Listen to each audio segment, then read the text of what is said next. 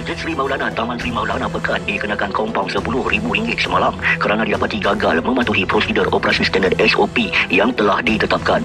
Berdasarkan notis yang dikeluarkan Pejabat Kesihatan Daerah, masjid berkenaan gagal menyediakan kod QR MySejahtera dan buku pendaftaran pelanggan.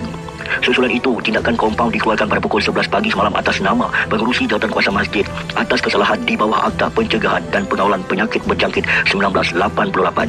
Sementara itu, pengurusi jawatan kuasa hal ehwal agama Islam dan Pendidikan Negeri, Datuk Seri Said Ibrahim Said Ahmad yang mengesahkan perkara itu berkata pihaknya telah meminta Jabatan Agama Islam Pahang Jaib melakukan pemantauan berterusan di masjid dan surau di negeri Pahang.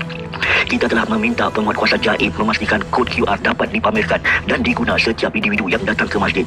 Mungkin ada berlaku kekhilafan oleh ahli jemaah atau pengurusan. Itu di luar jangkaan kita, ujarnya. Apapun tindakan itu telah mendapat kritikan yang berbelah bagi dari kalangan netizen. Netizen Halim Jantan mengatakan mematuhi SOP itu bagus, yang tak bagus ialah setengah orang dikuatkuasakan. Setengahnya pula macam ditutup mata saja. Contoh kes pernikahan Nilofa tak ada pun on the spot saman sampai ke hari ini dan banyak lagi kes yang boleh dipertikaikan. Tapi kes masjid kena kompang ini sesuatu yang betul. Betul buat aku tertanya pada diri aku. Di bulan yang mulia, umat Islam digalakkan memeriahkan masjid dengan amal dan ibadah. Masing-masing berlumba memuji dan bertasbih kepada Allah. Berlumba mencari mencari keredaan Allah. Tapi apa juga jenis manusia yang tak ada hati perut pergi saman masjid, usaha usahakan nak infak atau nak menyemarakkan masjid, di saman pula dengan alasan SOP yang orang lain boleh pula double standard. Aku terfikir apakah ini kifarah Tuhan atau petanda dari Allah untuk menunjukkan siapakah sebenarnya Muslim akhir zaman dan siapakah sebenarnya manusia yang diberi hidayah oleh Allah dan manusia yang ditutup pintu hati oleh Allah Subhanahu Wa Taala dari mendapat keredaan. Tidak bolehkah bantu ahli jatuh kuasa masjid untuk buat QR code dan belikan buku pendaftaran dan infakkan kepada masjid?